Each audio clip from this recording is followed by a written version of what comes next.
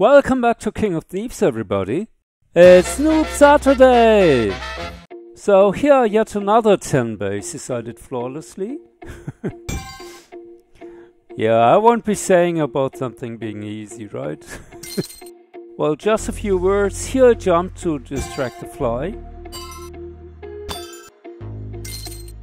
Then that flame jump gets a lot easier if you jump before it. Yeah, and then I waited here to jump over the fist and it was no problem. Then I always try to lure the fly over to me. Fly behind you is just like a police car, it's better than a roadblock in front of you. Yeah, right here the blue guard doesn't do anything. It just waited on the corner and then I jumped all the time anyway.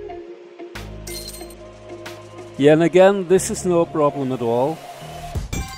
You can easily jump over the bloodhound, and then the bullets are no problem either. Yeah, this was a bit tougher because you only get one chance to finish that sword jump. So I waited a bit and then tried it and it worked.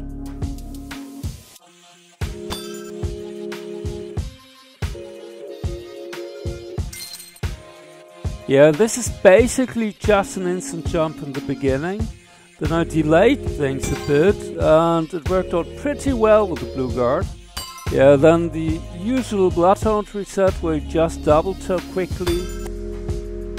And then I waited there for the fist a bit. Yeah, again, no problem at all. I just delayed my jumps a bit. And what surprised me, I could jump straight into the chest. Okay, but this is a bit lucky. The trick is to jump a bit before the bottom on the right. And, well, it's flawless.